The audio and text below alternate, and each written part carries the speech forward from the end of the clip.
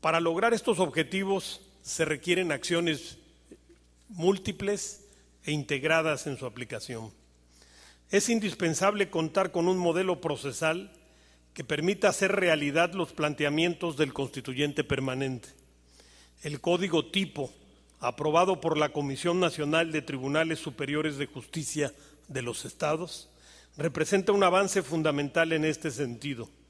Las legislaturas de, las entidades federativas y el Congreso de la Unión deben revisar este importante ejercicio de los magistrados locales para la discusión de sus reformas procesales. Debemos tener especial cuidado en que la legislación que se apruebe refleje con nitidez a las instituciones establecidas en la Constitución y que son la esencia de los juicios orales. Me refiero a los principios de inmediación, de publicidad, de contradicción y concentración, entre otros. En la fase de implementación de las reformas legislativas, abogados, policías, agentes del Ministerio Público y sobre todo los jueces deben de ser escrupulosos en la aplicación de las nuevas reglas. El Poder Judicial Federal, a través del amparo, tiene una tarea fundamental en la interpretación de estas reglas, en asegurar la uniformidad en los procesos y en garantizar que los principios constitucionales se respeten. La Suprema Corte de Justicia de la Nación debe estar atenta para traer los asuntos en donde existan preguntas constitucionales relevantes sobre los alcances de la reforma. La reforma procesal penal es un ejercicio de mediano plazo de coordinación. Los tres poderes del Estado deben mantener una intensa comunicación para atender la agenda de la reforma. Si bien esta función tiene un carácter eminentemente ejecutivo, no es posible concebir una reforma exitosa sin la necesaria participación de los poderes legislativo y judicial.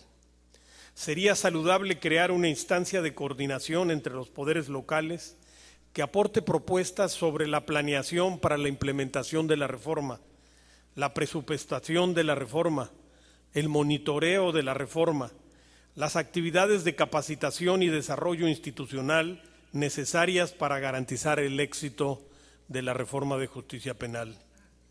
Los escenarios son variados se debe discutir el modelo para la reforma en el proceso penal. Al mismo tiempo, la federación debe proporcionar apoyo incondicional a las entidades federativas en sus procesos de reforma penal. Nuestra Constitución establece, como ya dije, un plazo de ocho años para que la reforma entre en vigor en todo el país. Ya transcurrieron dos. Hay avances en algunas entidades federativas. Hay que reconocer a los pioneros de la reforma en la provincia y aprender de sus experiencias. Sin embargo, debemos reconocer que el cambio de nuestro sistema de justicia penal es un esfuerzo de largo aliento.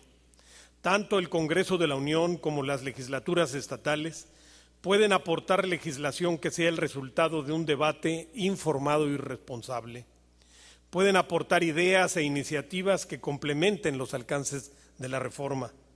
Pero ante todo, los poderes legislativos, tanto el federal como los estatales, deben aportar un espacio para la reflexión y la evaluación de la implementación de las reformas. Deben reconocer los éxitos, pero también expresar y condenar con claridad los retrocesos.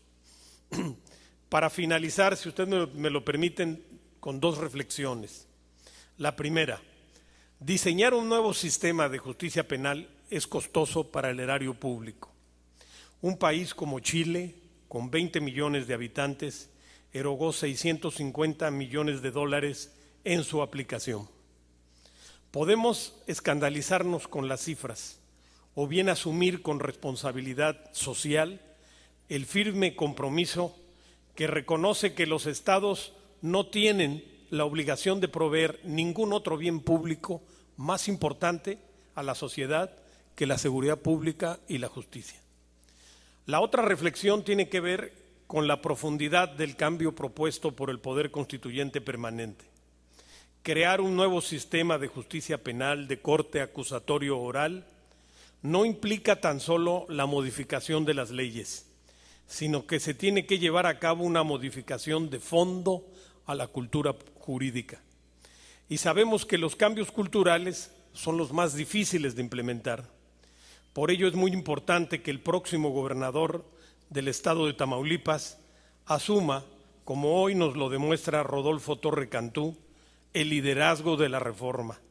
Solo con el involucramiento personal y directo del gobernador del estado, de los integrantes de la judicatura local y de los legisladores locales, la modernización de la justicia penal de Tamaulipas será una realidad como todos aspiramos. Muchas gracias. Para que tú estés mejor.